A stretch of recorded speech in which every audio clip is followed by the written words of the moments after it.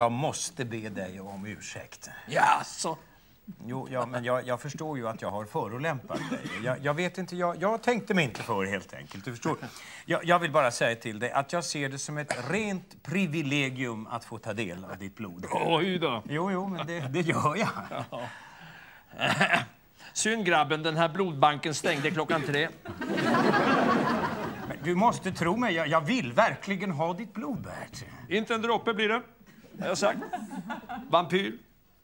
Snälla Bert, jag, jag, jag bönfaller dig. Du vet, jag är en allvarligt sjuk människa. Jag, jag måste få ditt blod. Jaså?